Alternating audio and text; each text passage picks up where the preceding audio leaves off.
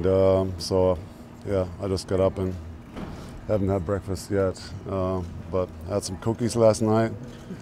had, had, a little wine, so yeah, that's uh, as far as my cheating went so far. How does this feel, Dirk, the day after uh, day one of your retirement? Yeah, day one of uh, the rest of my life starts. You know, where don't have to think basketball at all times. You know, it's just um, you know it consumes obviously your energy and. Uh, and that's the way I wanted it. Uh, I was, I was, like I said yesterday, living, breathing basketball at all times, and it's time to, to move on. And, you know, basketball will always be a big part of my life, uh, but not for for for now. Uh, I'm gonna need a little break. You know? I need to get away. I need to enjoy other things in life uh, that have, that have come short uh, the last 20 years, and. Um, you know, like I said, I want to travel a bunch. Uh, I want to enjoy my family, and uh, now's the time to do so. I think the rest of this week will be a little hectic uh, still, but uh, I think next week everything will, will settle down. What's your uh, estimation on how the Mavericks will look going forward with Luka and KP as the two cornerstones? Yeah, I mean, uh, I talked about it a little bit to the guys up there. I think it reminds me a little bit of, of when I first got here. Um, young talent, couple of veterans, but um, young guys who can build around, uh, that are good dudes, that uh, you know like the teammates, that like to work, um, and want to get better. Um, so I think we're in a good place, but you know nothing nothing is given this league. The, the West is, is brutal, as we all know, but if everybody keeps uh, working hard and improves over the summer and have a healthy uh, KP next year. I think they should be should be fun to watch. Hopefully for Mavs fans uh, for for a long, long time and stay together like that and stay injury free and add a few veterans here. I think uh, we're on the right track. Dirk, it's well known that you have a legacy. The players know it. Your teammates know it. What's the number one thing you want them to take from your legacy? Well, I think just keep improving and never never be satisfied with with what you have or what you accomplish. You know, somebody else is always in the gym getting better working, uh, and you know, just improve. Use the summer, um, add something to your game. Um, you know, always see yourself as a student of the game, um, uh, and just you know, keep working, keep improving, because uh, somebody else is uh, somebody else will. 21 years. Does it feel like 21 years? Did did it fly by? Did it did it feel like every single minute? How, uh, what does that feel like? A little bit of both, you know. Uh, if you look back now, when I first got here and I saw some of those old videos with the bowl cut, it seems forever ago, a lifetime ago. But also, some of these memories are uh, are just like it was yesterday. You know, meeting Steve, getting my first suit. I never owned a suit, so for the press conference after the draft, I had to get a suit fitted and you know, it's uh, it's so far away, but uh, uh, some of those memories are, are uh, feel like it's it was just yesterday. So it's a little bit of both, and um, you know, some of this stuff will obviously stay with me uh, for the rest of my life. How do you feel about all the U.S. presidents shouting you out on Twitter? Yeah, that was that was cool. I mean, I haven't even got to everything honestly. You know, it's been uh, it's been one thing after the next, um, but I did check Twitter some uh, especially after that home night here. When, once we got to San Antonio, things settled down. Uh, I was so emotional I couldn't sleep. So I did I did some some research online, and it's it's been it's been amazing uh, how many people have reached out. Some people I didn't even think would know me. Maybe that's a little naive of me, but it's been um, yeah, it's been overwhelming how many how many people reached out over Twitter or phone. And, I'm going to get to, to all that once I settle down and really enjoy it and watch some of those videos and uh, once uh, once I have a little bit of time. Speaking of uh, memories, could you take us back to that first game, very first game in Seattle, and how totally different it was from your last game in San Antonio? Yeah, well, you know, I didn't really know what to expect. Uh, everything was new. Um, got to meet Detlef before the game. I was uh, I was just uh, super anxious, and um, you know everything, um, you know, came at me at 100 miles an hour, and you know, get dressed. There's media in the locker room, which I've never had in, in Germany. So I, I, everything was just super new, and you know, it was always like uh, almost like a deer in headlights, and so that was probably one of my worst games I ever played. You know, just because everything was, was so new, and um, you know, that was uh, that was quite an experience. Another game that I'll never forget. You know, I didn't score from the field, and I was super down afterwards. I remember watching some film afterwards with Donnie, and um, so that was uh, that was my first game, and and last game was uh, even even more memorable. You know what, what San Antonio did uh, was unbelievable. It got me all emotional before the game, and um, embraced with pop, and um, you know just uh, a great, great, uh, classy organization, and I'll, I'll never forget last night either. What I were your just- emotions uh, leaving the arena and then the plane ride and then the water cannon?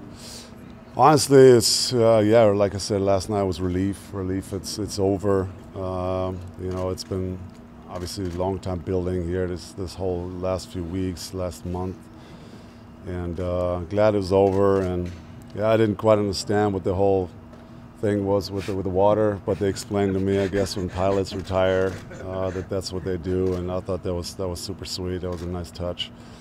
Um, and emotional leaving the building, yeah, it was, it was great that some of my family and friends came down and seeing them and uh, seeing the excitement on their face. And um, so, no, it was, uh, that was great, but like I said, uh, definitely relieved that uh, it's over now.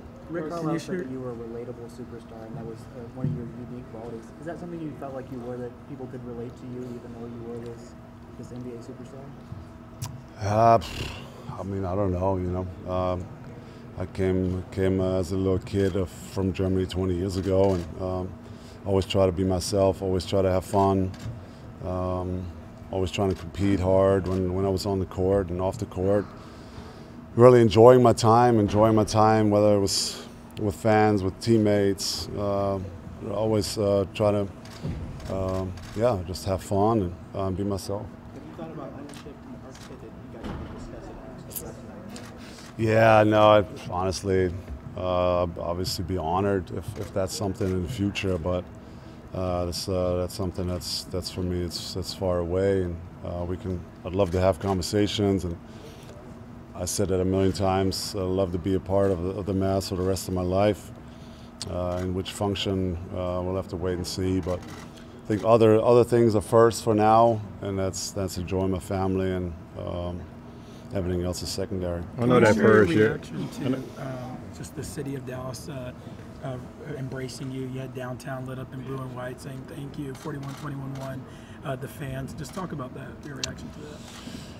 Yeah, I mean, like I said, the uh, the support uh, and the reception uh, has been phenomenal here, and it's um, you know you always hear a fan come up to me like, "Hey, the whole city loves you," but I don't know that really doesn't mean anything. But when you when you see it actually come together and see some of those videos, when uh, I saw some some people start to cry when they talk about me retiring, and that that makes it super real. You know, that's that makes it super real and tough. I know your first year, uh, you know, you talked about it a little bit, uh, how tough it was. Who helped you get through that first year? you know, support, um, trying to stay confident even though it's hard, um, hard work, you know, stay the course. And, you know, I always say Steve and Mike were, were huge. We were, were huge in my first year. Not only supporting me on the court, but off, off the court, you know, taking me out, taking me to eat, taking me to movies. So I just don't sit in the hotel room or at home and and get homesick and um, think about how bad I'm playing or it's not working. And they just kept me busy um, and, you know, kept believing in me, kept pushing me. Went to the gym every night with Nash. He played horse, played one on one. Ultimately, yeah, that's it. It's, it's hard work and, um, and just work your way through tough times. And, and that, that way, the, uh, makes it even more worth it uh, when the good times come. We- Was we- there, was there a tipping point? You said in the last couple of days, and it runs together, but that that no matter how bad you were, how much you were struggling, the fans were still behind you. Somewhere in year one and early in year two, and you said last night, I had to try and live up to it. How, why did you have to, or what was the tipping point that made you want to? No, I felt the whole first year I was I was struggling, um, but fans I guess saw something in me or wanted me to succeed here, and um, you know I always wanted to work hard and, and pay that uh, pay that love back, and that support, pay it back, and make it work. And so I worked as hard as I could to um, to be the best player that uh, that I could be. Um, you know that meant a lot to me when there were games where I didn't play much or I didn't play at all, and I got it subbed in and, and the old reunion and uh, I got a standing ovation. So of course I'll, I'll never forget that support. Obviously, in 2011, um, that, that was a championship. But what are some of the memories that will really stick with you uh, throughout the rest of your life? Yeah, I mean, there's too many to uh, to mention. I mean, this last year was, was has been incredible. Usually, you don't forget your first All Star game when you walk in the locker room, and all of a sudden, you know, you, you're accepted by them. But all of a sudden, you're in, in the locker room with Kobe, KG, Tim Duncan, Shaq. I mean, that's uh, that was an incredible experience back then. Um, yeah, losing the finals, I'll never forget that whole week in Miami, that disaster, changing hotels.